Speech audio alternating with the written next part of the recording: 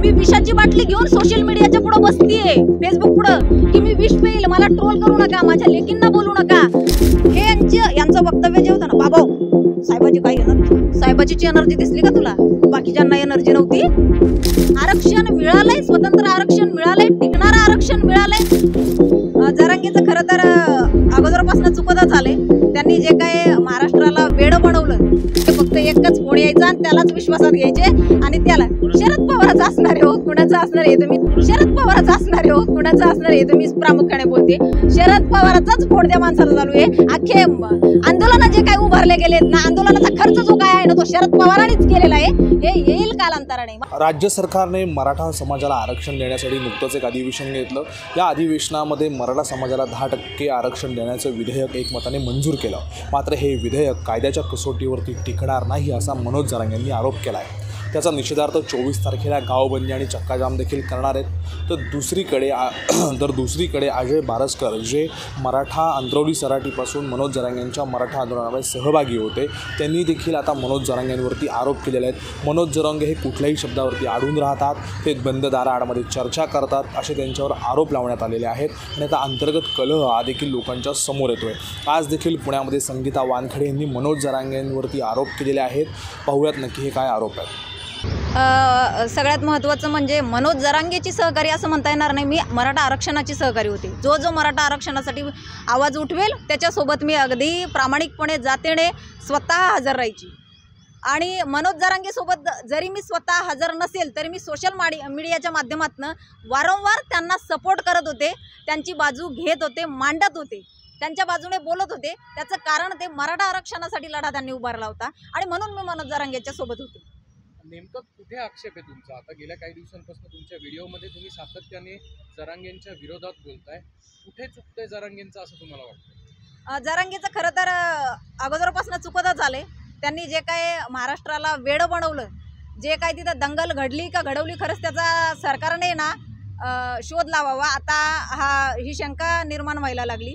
त्या दंगली तिथं जे काय झाली मा मारहाण झाली पोलिसांकडनं लाठीचार्ज झाला त्याच्यानंतर अखंड महाराष्ट्राने उद्रेक महाराष्ट्राचा बाहेर आहे त्याबरोबर मी होते कारण चळवळीची कार्यकर्ता मी आहे चळवळीचा भाग मी आहे. आणि त्यावेळे तेव्हापासून मी मनोज जरांगेला त्यांच्यासोबत मी जोडल्या गेली. मनोज जरांगे कोण हे मला वाटतं मीडियाला पण माहीत नसणं अगोदर. हे बोलतायत मी या संघटनेत काम केलं त्या. तुम्हाला तरी माहिती होतं का मनोज जरांगे कोण आहे अगोदर? ज्या वेळेला लाठीचार्ज झालाय अखंड महाराष्ट्राने त्यांना डोक्यावर घेतलं सर्व पक्षीय आमदार त्यांना भेटायला गेले. अगदी डॉक्टर प्रकाश आंबेडकरांपासनं ते पार जलील असेल राजसाहेब ठाकरे असतील पडळकर असेल सर्व सर्व स सत्ताधारी आणि विरोधी पक्ष सर्वच त्यांना भेटायला गेले आणि त्याच्यानंतर मन मनोज जरांगेचा चेहरा हा महाराष्ट्राने बघितला आणि महाराष्ट्राने त्यांना डोक्यावर घेतलं. त्याचं कारण सर्वसामान्य तळागाळातल्या लोकांनी त्यांना सपोर्ट केलाय. आणि म्हणून आज मनोज जरांगे जे काय आहे व्यक्तिमत्व ते आपल्यासमोर आहे. त्याचं कारण एवढं मोठं आहे ना की मनोज जरांगे भोळा बाबडा माणूस साधा सरळ बोलणारा अगदी आपली भाषाशैली आहे ती न बदलणारा अगदी सब म्हणजे जी सभ्य भाषा नाही म्हणता येणार त्यांची जी भाषाशैली आहे किंवा जे काय आहे त्यांचं त्या भाषेत बोलणारा म्हणून महाराष्ट्राने आणखी जास्त त्यांच्यावर विश्वास ठेवला की नाही. आता आम्हाला अगदी महाराष्ट्रासोबत मीही विश्वास ठेवला होता की आम्हाला निस्वार्थ नेतृत्व मिळालं. तुम्ही शेवटपर्यंत कधी त्यांच्यासोबत मी एक महिन्यापूर्वीपर्यंत होते जोपर्यंत तुम्हाला सांगते मला काही गोष्टी बऱ्याच प्रामुख्याने लक्षात येत होत्या. ज्या वेळेला नामदेवराव जाधव यांच्यावर शाईफेक झाली त्याही वेळेला या माणसाने ब्रशब्द त्यांच्या बाजूने काढला नाही. ज्या वेळेला मंगेश साबळेने गाडी फोडली त्याही वेळेला मंगेश साबळेला हा माणूस म्हणतोय कोण आहेत ते मला माहीत नाही मी ओळखत नाही त्यांना. ज्या वेळेला मला गलिच्छ भाषेत बोलल्या जाते मी याची बाजू घेऊन भुजबळला एवढं ट्रोल केलं होतं. मी त तळतळीनं बोलतीये. की माझा भाऊ आजारी आहे मला या लोकांचा विरोध करायला मी एकटी बक बस आहे परंतु आत्ता मला वेळ नाही आहे त्यांना उत्तर द्यायला. मला ही लोक फेसबुकला फोन करतायत व्हॉट्सअपला कॉलिंग करतायत मला गलिच्छ भाषेत बोलण्यात येते माझ्या लेकींना बोलण्यात येते तुम्ही फक्त फे याच्या सोशल मीडिया मीडिया चोवीस तास तुमच्यासोबत होती तुम्हाला काय मीडिया बोलवायची गरज नव्हती. फक्त एक तीस सेकंद तुम्ही बोला माझ्यासाठी. की त्या संगीता वानखेडेला का तुम्ही ट्रोल करताय? तिला एकटी समजू नका बस एवढंच बोला असं म्हणत होती मी. का तर माझ्या मुलींपर्यंत आले. गलिच्छ मी सांगू शकत नाही तुम्हाला एवढं माझ्या मुलींना बोलण्यात येत होतं. भुजबळचे कार्यकर्ते बोलत होते. परंतु या बाबाचं वक्तव्य असं होतं की मी त्या बाईला सांगितलं नाही बोलायला. कुणीही उठतंय आणि ब- काय उगाच प्रसिद्धीसाठी. काहीही करतंय. हे आम्ही का ब- हे मी नाही बोलणार. आहे मला आरक्षण महत्त्वाचं आहे. हे मला माझ्या एका त्यांच्याही सहकार्याने आणि माझ्याही भावाने तिथल्या मला ऐकवलं आहे त्याचं बोलणं. आणि त्यावेळेला फार मनस्ताप झाला की अरे आज मी एवढं या माणसासाठी आणि मग नंतर मला काही गोष्टी त्यांनी सांगितल्या की ताई आम्हाला बऱ्याच दिवसापासून असं वाटतंय तुम्हाला सांगावं. शांत बसा पण तुम्ही कुणाचं ऐकत नसता. हे आम्हाला माहिती आहे. आणि मग त्यांनी मला म्हटलं हे माझ्याही लक्षात येत होतं. ह्या गोष्टी माझ्याही लक्षात येत होत्या की अरे हे कुठेतरी चुकतंय काहीतरी गडबड आहे.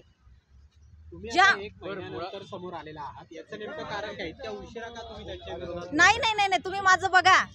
मी त्यांना एक ते दीड महिन्यापासून मी त्यांचा विरोध करते. मी आत्ता नाही मी माझ्या माझं यूट्यूब चॅनल असेल माझा फेसबुक असेल मी त्याच्यावर त्यांचा विरोध करते मला ट्रोल करण्यात येत आहे मी रडतीये ढसाढसा. मी विषाची बाटली घेऊन सोशल मीडियाच्या पुढं बसतीये. फेसबुक पुढं. की मी विष पेईल मला ट्रोल करू नका माझ्या लेकींना बोलू नका. मला उदयनराजेंच्या सहकाऱ्यांचे फोन येत आहेत. ताई उदयनराजांना आम्ही तुम्हाला भेटण्याची तरतूद करतोय. तुम्ही इकडे या साताऱ्याला. म्हणजे लोकांची तोंड गप्प होतील. आज छत्रपतींची गादी मला सपोर्ट करायला तयार आहे. परंतु हा माणूस फोन करून एक शब्द बोलत नाही हो. सहानुभूतीसाठी सुद्धा की कधी काळी या भगिनीने आपल्याला मदत केलेली आहे? खंबीरपणे आपल्यासाठी उभी राहिलेली आहे सोशल मीडियावर नाही या माणसाचा मला फोन नाही आला किंवा याच्या सहकाऱ्यांचा सुद्धा परत नाही फोन आला. मुळात प्रश्न असा आहे की तुम्ही म्हणताय की तुम्ही एक महिन्यापूर्वी त्यांच्या बरोबर होतात. अनेक वेळा जरांगे असं बोललेले आहेत की मी स्वतः समाजाशी बोलतो सहकाऱ्यांशी बोलतो आणि मगच निर्णय घेतो. असं काय झालं एक महिन्यानंतर किंवा एक महिन्यापूर्वी की त्यांनी तुमच्याशी बोलणं टाळलं किंवा समाजाशी ते बोलत नव्हते का असं तुमचा आरोप? नाही अजिबात नाही. हे फक्त बो कॅमेऱ्यासमोर बोलण्यासाठी होतं. तिथल्या सहकाऱ्यांनी सगळ्यात महत्त्वाचं अं, बारसकर महाराजांनी त्यांनी सांगितलंय तुम्ही सगळ्यांनी बघितलंय काल? त्यांनी सुद्धा त्यांच्या मुलाखतीमध्ये त्यांच्या बाईटमध्ये सांगितलंय की काहीही कुणालाही विश्वासात घेत नव्हते. ते फक्त एकच फोन यायचा आणि त्यालाच विश्वासात घ्यायचे आणि त्याला शरद पवाराचा असणार आहे हो. कुणाचा असणार आहे हे मी प्रामुख्याने बोलते. शरद पवाराचाच कोणत्या माणसाला चालू आहे? अख्खे आंदोलनं जे काय उभारले गेलेत ना आंदोलनाचा खर्च जो काय आहे ना तो शरद पवारांनीच केलेला आहे. हे येईल कालांतराने. मला माहिती आहे खूप ट्रोल करण्यात येणार आहे मला याच्या अगोदर. आणि मला करतायत. मला काही फरक पडत नाही त्या गोष्टीचं. मी सत्य मांडत असते मांडत राहणार आणि मांडतीये. माझं तोंड कुणी गप्प करू शकत नाही. पण तुम्हाला असं का वाटतं की हा सगळा डाव जो आहे तो शरद पवारांनीच आखला गेला? तुमच्याकडे काय प्रूफ आहे येस का? अहो दिसतंय उघड्या डोळ्यानी. काय प्रूफ बारसकर महाराजांकडे? आहे. आणि सगळ्यात महत्वाचं पहिलं तुम्हाला एक शब्द सांगते मी तो विसरून जाईल परत. आणि बोलते मी नंतर की मला का वाटतं ते. कालची बाईट बघितली का तुम्ही जरांगीची? जरांगी बघा बारसकर महाराजानंतर जरांगी काय बोललाय? हे तर एक दोनच आहेत हो. अजून दहा पंधरा येतील. आलेले आहेत बाहेर. काय होतं माहिती का? करोडो मराठा समाज त्याच्या सोबत होता. कोण यांना अंगावर घेईल म्हणून लोक घाबरत होते? मला पण सल्ला देत होते की ताई मुलींकडे लक्ष द्या. तुम्ही सिंगल मदर आहे. जाऊ द्या खूप गलिच्छ बोलल्या जाते ताई.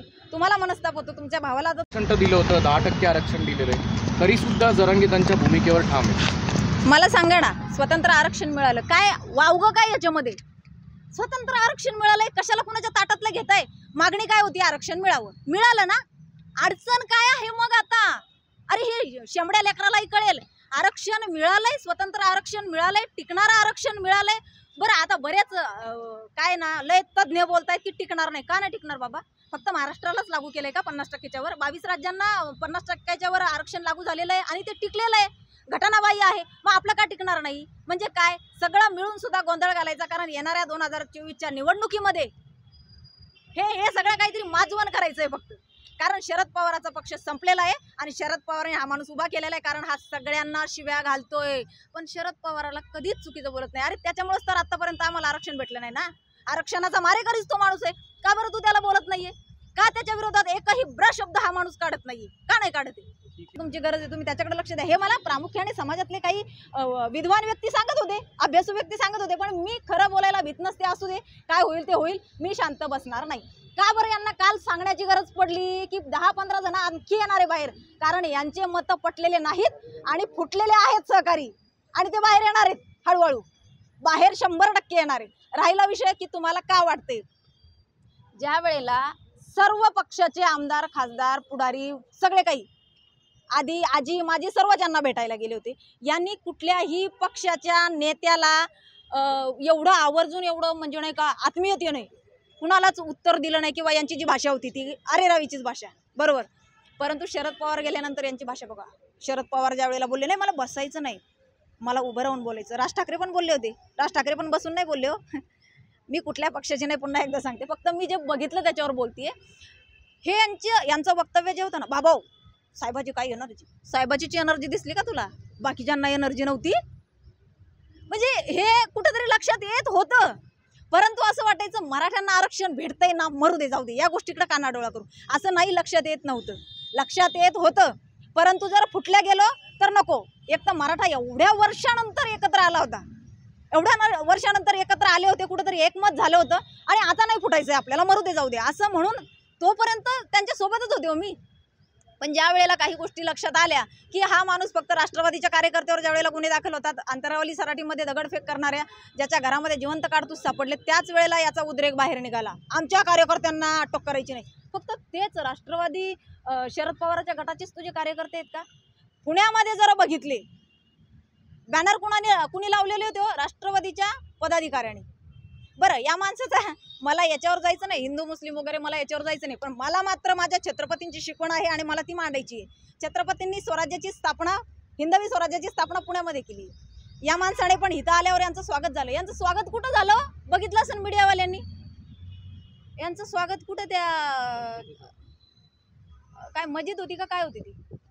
दर्गा काय होतं? तिथं यांचं स्वागत झालेलं टोपी घालून हे अख्खं पुन्हा फिरलेत ती. काय बाकीचे देव मंदिरं काय बंद होते का यांच्यासाठी? का बरं तिथंच गेलेत? मग का नाही? कारण शरद पवार त्यांचा भक्त आहे ना? हा पण त्यांचाच भक्त आहे. जे सर शरद पवाराला पाहिजे तेच या माणसाने केलेलं आहे. प्रामुख्याने या सगळ्या का की मनोज जरांगे जे बोलतात ज्यांची त्यांची जी भूमिका आहे याच्या मागे खरा सूत्रधार कोणी आहे? शरद पवारच आहे. स्पष्टपणे सांगते मी. त्याच्या मागं फक्त कारण शरद पवाराचा पक्ष संपलेला आहे. शरद पवाराला आता मनोज जरंगेच्या माध्यमातून वोट बँक तयार करायची आहे. आणि त्याच्यामुळं हा सगळा काही राडा हा सगळा काही गोंधळ किंवा हे काय त्यांनी जे नाटक थोतांड केलं हे सगळं शरद पवार याच्या पाठीमागची जे काय त्याला सुरक्षा चक्र प्रदान केलेलं आहे ते शरद पवार आणि शरद पवार सांगेल तसंच तो माणूस वागतो कुणाचंही मत घेत नाही. तुम्ही जर शरद पवारांवर आरोप मराठा समाजा आरक्षणाला ओबीसी वर्गातून विरोध होत होता. आता काही मराठी ने- मराठे नेते देखील ह्या आरक्षणाला विरोध करत होते. मात्र आता अंतर्गत देखील कलह समोर येतोय. अजय बावस्कर संगीता वानखडे यांनी देखील मनोज जरांग यांच्या भूमिकेला आता विरोध करताना पाहायला मिळत आहे कॅमेरामॅन पियुषासह मी प्रीतम पुरोहित डिजिटल प्रभात पुणे.